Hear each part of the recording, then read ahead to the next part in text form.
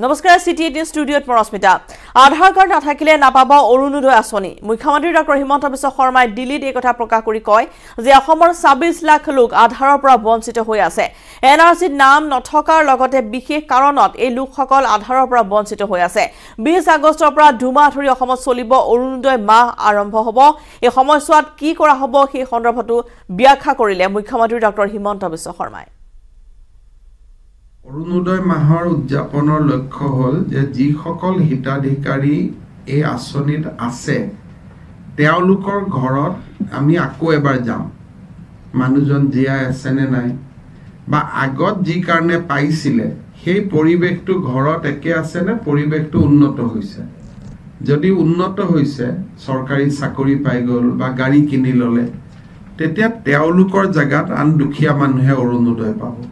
সেইকাৰণে কলেজৰ ছাত্ৰ ছাত্ৰীসকলে অৰুণোদয় হিতাধিকাৰীসকলৰ ঘৰত যাব যিটো বিশ আগষ্টৰ পৰা বিশ ছেপ্টেম্বৰলৈকে চলিব आधार वाला यही है कि असम का सारा बेनिफिशियरी खास करके हमारा जो अरुणोदय बेनिफिट हम लोगों को देता हूँ हम सारा बेनिफिशियरी को आधार लिंक करने का काम असम में जोर तोर से चल रहा है तो 96 परसेंट लोगों को आधार दिया गया है, लेकिन उसमें हमारा असम में 26 लाख ऐसा परिवार है जो एनआरसी में नाम नहीं होना ड्राफ्ट लिस्ट में नहीं होने का कारण उनका एनआरसी ब्लॉक है।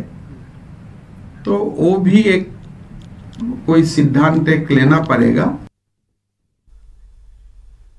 কোনো প্ৰবঞ্চক নহয়। এজন আৰক্ষী বিষয়াৰ কুকৰ্মত লজ্জিত দৰং জিলা আৰক্ষী।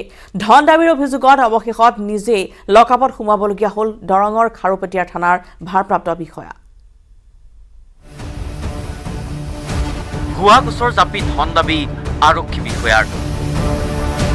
লকআপত সোমাল ভাৰপ্ৰাপ্ত আৰক্ষী বিষয়া। কোনো প্ৰবঞ্চক নহয়। এজন আৰক্ষী বিষয়াৰ কুকৰ্মত লজ্জিত দৰং জিলা আৰক্ষী। সেইকাৰণে আমি এইটো কঠোৰ ব্যৱস্থা গ্ৰহণ কৰিছোঁ। ধন দাবীৰ অভিযোগত অৱশেষত নিজেই লকআপত সোমাবলগীয়া হ'ল দৰঙৰ খাৰুপেটীয়া থানাৰ ভাৰপ্ৰাপ্ত বিষয়া উৎপল বৰা। ধনলোভী আৰক্ষী বিষয়া উৎপল বৰাৰ বিৰুদ্ধে আছে একাধিক অভিযোগ। কিন্তু আহি থাকে বিভিন্ন ধৰণৰ কেছত ধৰিলে আমি এফ আই আৰ দিছোঁ তদন্ত হোৱা নাই মানুহ আছে আমি ধৰা নাই। এইটো এটা সাধাৰণ থাকি যায়। আমি সেইবিলাক নিজে senior officer D S P additional S P C I গৈ এইবিলাকৰ লগে লগে আমি মীমাংসা কৰি দিওঁ। ভুৱা গোচৰ জাপি আটক কৰা জলজীৱন আঁচনিৰ পাইপ চুৰিৰ মিছা অভিযোগ জাপি দিয়া ভুক্তভোগী লোকৰ পৰা পাঁচ লাখ টকা ধন দাবী কৰা জলজীৱন আঁচনিৰ পাইপ জব্দ কৰাৰ ভুৱা গোচৰ এইখিনি হৈছে আৰক্ষী বিষয়া উৎপল বৰাৰ বিৰুদ্ধে অহা অভিযোগ। দৰং আৰক্ষীয়ে গোচৰ ৰুজু কৰি আটক কৰিলে খাৰুপেটীয়া থানাৰ ভাৰপ্ৰাপ্ত বিষয়া উৎপল বৰাক। আমি পিছত তদন্ত কৰি দেখিলোঁ যে একেষ্টৰ ঘৰৰ পৰা পাইপ চিজ কৰা নাছিল। এইটো কণ্ট্ৰেক্টৰ ঘৰৰ পৰা পাইপ দুডাল আনি দেখুৱাইছে। একেষ্টৰ ঘৰৰ পৰা চিজ হোৱা বুলি। গতিকে তাৰ ঘৰৰ পৰা চিজ যিহেতু হোৱা নাছিল গতিকে এইটো দেখুৱাব নালাগিছিল।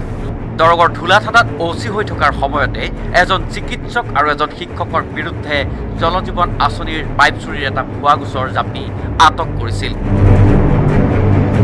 আটক কৰা লোককেইজনৰ ঘৰৰ পৰা আঁচনিৰ পাইপ জব্দ কৰাও দেখুওৱা হৈছিল নথি পত্ৰত পিছত ভুক্তভোগী লোককেইজনে উৎপল বৰাৰ বিৰুদ্ধে আৰক্ষী থানাত গোচৰ তৰিছিল দৰং আৰক্ষীৰ তদন্তত প্ৰমাণ হোৱাত অচি উৎপল বৰাক আটক কৰে।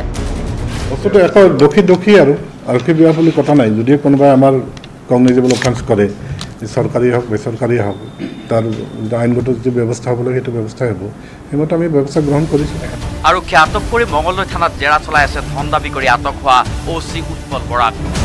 ভুৱা গোচৰ জাপি হাৰাশাস্তি কৰাৰ অভিযোগ প্ৰমাণিত হৈছে যদিও ধন দাবী সম্পৰ্কত এতিয়াও জেৰা চলাই আছে অ' চি উৎপল বৰাক।